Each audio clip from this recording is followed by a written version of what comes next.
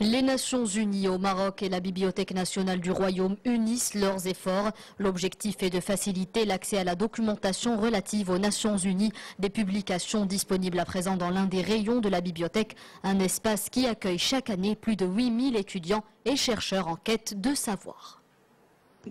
Je prépare mon master, la bibliothèque est le lieu idéal pour préparer mon mémoire et faire mes recherches. J'y trouve toute la documentation dont j'ai besoin. La bibliothèque nationale contient des ouvrages en plusieurs langues, ainsi que des manuscrits qui sont une source de savoir inestimable et une véritable richesse scientifique. Une convention de partenariat a donc été signée entre les Nations Unies Maroc et la Bibliothèque nationale du Royaume. Le but est de renforcer sa capacité en matière de documentation, rapports et études émanant des organismes onusiens. Pour nous, c'est la diversité, c'est l'ouverture, c'est aussi l'enrichissement de la documentation de la Bibliothèque nationale. Et c'est notre rôle, n'est-ce pas? Et nous, nous avons notre place aussi pour communiquer cette documentation qui est disponible, que nous essayons toujours d'acquérir et de rafraîchir.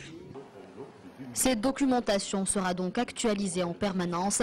La Bibliothèque nationale du Royaume et les Nations Unies Maroc prévoient également de développer leur partenariat pour permettre aux étudiants de bénéficier des différents programmes et activités des organismes onusiens présents à Rabat.